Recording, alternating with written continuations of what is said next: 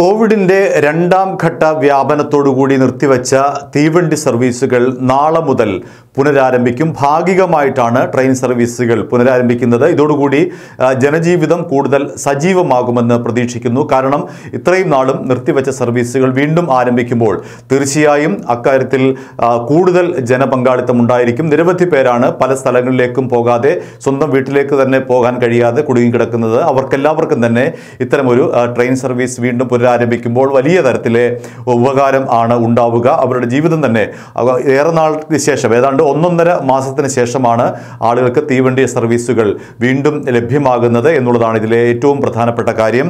കേരളത്തിൽ നാളെ മുതൽ കൂടുതൽ ട്രെയിൻ സർവീസുകൾ തുടങ്ങും. ജനശതാബ്ദി വഞ്ചിനാട് വേണാട് ഇന്റർസിറ്റി കൊച്ചുവേളി മൈസൂരു തുടങ്ങിയ സർവീസുകളാണ് നാളെ ആരംഭിക്കുന്നത്. കോവിഡ് രണ്ടാം ഘട്ട വ്യാപനത്തോടെ നിർത്തിവെച്ച ദീർഘദൂര ട്രെയിൻ സർവീസുകളാണ് പുനരാരംഭിക്കുന്നത്. വ്യാപനത്തോത് കുറഞ്ഞതും നിയന്ത്രണങ്ങളിൽ സംസ്ഥാനങ്ങൾ ഇളവുകൾ പ്രഖ്യാപിച്ചതുമാണ് സർവീസുകൾ പുനരാരംഭിക്കാൻ കാരണം. ഇന്റർസിറ്റിയിലേക്കും ജനശതാബ്ദി ഉൾപ്പെടെ ഓടിത്തുടങ്ങുന്ന സർവീസുകളിലേക്കുമുള്ള റിസർവേഷൻ ആരംഭിച്ചിട്ടുണ്ട്. ട്രെയിനുകൾ അണുനശീകരണം നടത്തി സർവീസിന് തയ്യാറായതായി റെയിൽവേയും അറിയിച്ചിരിക്കുകയാണ്. ചെന്നൈയിൽ നിന്നുള്ള നാല് പ്രത്യേക ട്രെയിനുകൾ നാളെ മുതൽ കേരളത്തിലേക്ക് സർവീസ് നടത്തും. Chennai Mangaluru express Chennai Mangaluru west coast express Chennai Alappuzha express Chennai Thiruvananthapuram express എന്നിവയാണ് സർവീസ് നടത്തുന്നത്. കോയമ്പത്തൂർ മംഗളൂരു എക്സ്പ്രസ്സും സർവീസ് നടത്തും.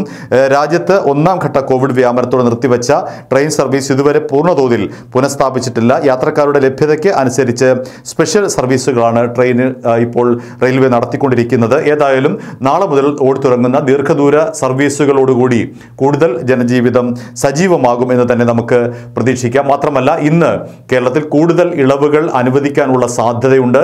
ഇന്ന് പ്രത്യേക മുഖ്യമന്ത്രി വിളിച്ചിട്ടുള്ള വിദഗ്ധരുടെ യോഗം ചേരുകയാണ്. അതിന്റെ അടിസ്ഥാനത്തിൽ കൂടുതൽ മേഖലയിൽ ഇളവുകൾ നൽകാനുള്ള സാധ്യത ഏറെയാണ്. പ്രത്യേകിച്ചും കോവിഡിന്റെ വ്യാപനം കുറഞ്ഞ മേഖലകളിൽ കൂടുതൽ ഇളവുണ്ടാകുമെന്നാണ് പ്രതീക്ഷിക്കപ്പെടുന്നത്. അതിനനുസരിച്ച് സംസ്ഥാനത്ത് എത്രമാത്രം ഇളവുകൾ ഉണ്ടാകും എന്നുള്ള കാര്യത്തിൽ നമുക്കിപ്പോൾ ഒന്നും പറയാനില്ല. കൂടുതൽ ഇളവുകൾ വന്നാൽ തീർച്ചയായും ഈ ട്രെയിൻ സർവീസുകൾ സജീവമായി വരും ദിവസങ്ങളിൽ കൂടുതൽ സജീവമാകും എന്ന് തന്നെ പ്രതീക്ഷിക്കണം. മാത്രമല്ല കൂടുതൽ സർവീസുകൾ റെയിൽവേ ആരംഭിക്കാനും സാധ്യതയുണ്ട്. അതെല്ലാം തന്നെ സംസ്ഥാനത്തിന്റെ ഈ ഇളവുകളുമായി ബന്ധപ്പെട്ടാണ് ആഭ്യന്തര സർവീസുകൾ. കേരളത്തിനകത്ത് തന്നെ ഓടുന്ന കൂടുതൽ സർവീസുകൾ റെയിൽവേ ആരംഭിക്കാൻ സാധ്യത ഇന്നത്തെ യോഗത്തിന് ശേഷമുള്ള തീരുമാനത്തിന്റെ അടിസ്ഥാനത്തിൽ കൈക്കൊള്ളുമെന്നാണ് പ്രതീക്ഷ.